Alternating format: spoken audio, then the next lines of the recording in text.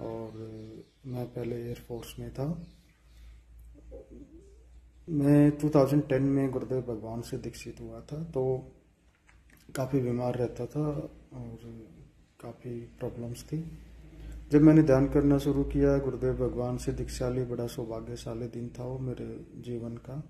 मेरा एक रीबर्थ हुआ उस दिन और मैं जब ध्यान करना शुरू हुआ, मुझे मेरे दो ही एक्सपीरियंस स्टार्टिंग बिगनिंग एक्सपीरियंस थे, वो थे कि एक तो मुझे बिना खिचड़ी लगे मीठा रस आता था बहुत ज़्यादा मुँह में, और क्योंकि मेरा सिस्टम आंतों का और इतना वीक हो चुका था कि शायद वो उस कुंडलिनी शक्ति, जो मात्र शक्ति है, उसका, जो एनर्जी उसको सहन ना कर पाए, इसलिए बिना खिचड़ी लगे, बिना यौगिक मूवमेंट के मुझे बहुत मीठा रस का इस दिन आया।